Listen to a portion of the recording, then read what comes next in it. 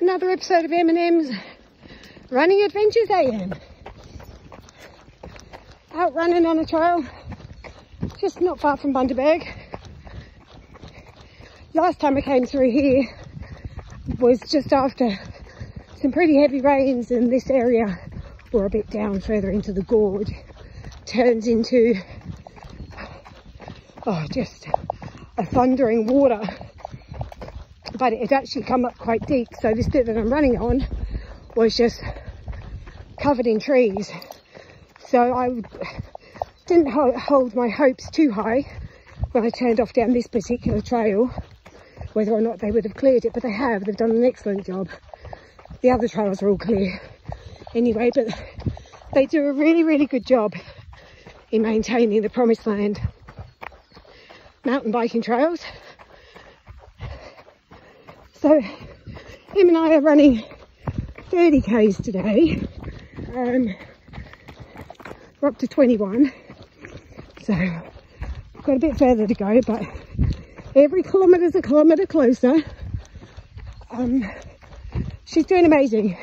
She's much better on trails like this, where she hasn't got too much um, width to think about.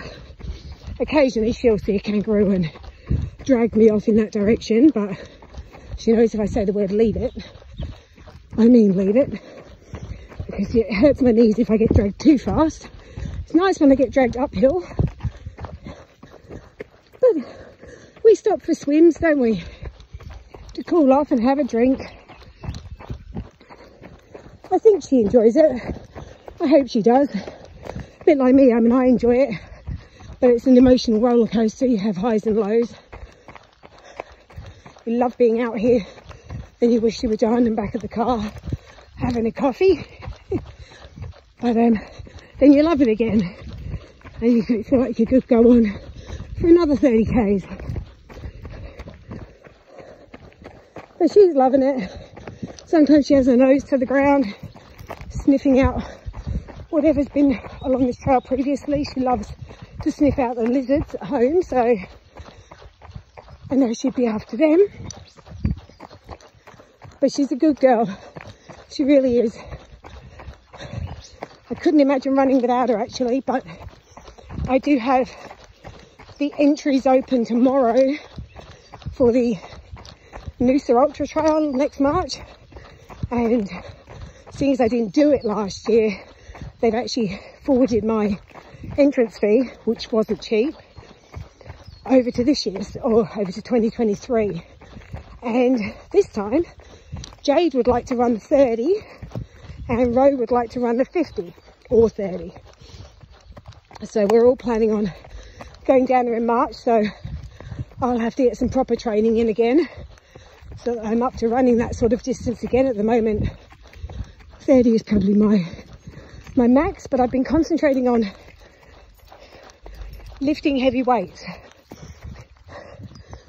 and doing some plyometrics to make my left knee that little bit stronger to trail running because trail running is not just running straight forward obviously it's side to side on uneven ground so and it aggravates my knee. So plyometrics is good for that with all the ups and downs and twists and backwards and forwards and jumping.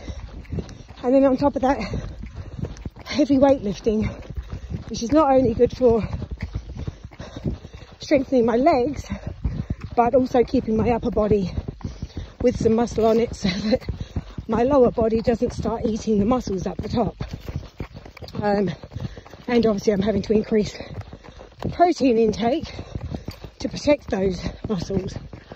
Um, so I think I know a bit more what I'm aiming for this time and how protect, protect how to protect my body further. And obviously being close to 50, my bone density starts becoming a, more of an issue year after year. And smelling something, Em. um, and lifting heavy weights is the way to keep your bones laying down more calcium and more density to protect them from the dreaded osteoporosis.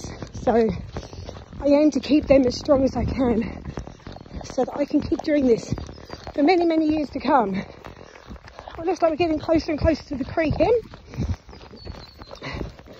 When I hit it last time, I think I was nearly up to my waist crossing it.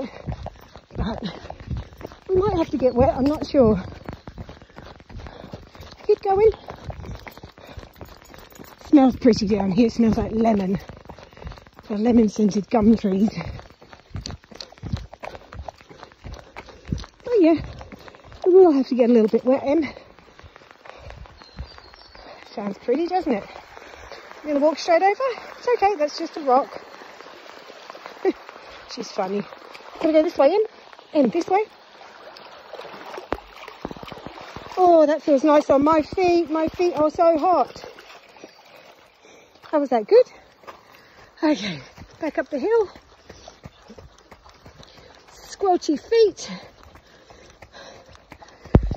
Yeah, this trail's called, trail is called the Cow and Bones Trail. It's the one of the harder mountain biking trails. This one and something called Pin and Grinnet. Um, but the others are set out for the kids. It's a gorgeous place, it honestly is. And obviously it's not normally green like this in the winter. It's normally dry and you probably wouldn't come out here with the risk of bushfires, but we've had the best winter rain-wise than we've had in years, thanks to La Nina. La Nina, that's how you say it. Down this way. Good girl. Anyway, anyone's followed me all the way through to the end, because I know that's a long video, thanks for watching. Keep going in. Up you go. Up you go. Good girl. And hopefully I'll take some more when we do some different adventures around the place. So bye from Em and bye from Em. See you next time. He wants a drink. You can't go too far, sweetie. Turn around. Nice swim. Oh, it's a nice cool off, isn't it? Can't go too far. I can't let her off out here. She'd track, if she smelt something she wanted to chase, she'd be off. Turn around Em. It's a bit difficult with this on at the end. And I'd never find you again, would I, if you started chasing something? Oh, let's go. Up the hill and we say goodbye. Pick your nose up. Free trip over it. Good girl. Okay. See you guys.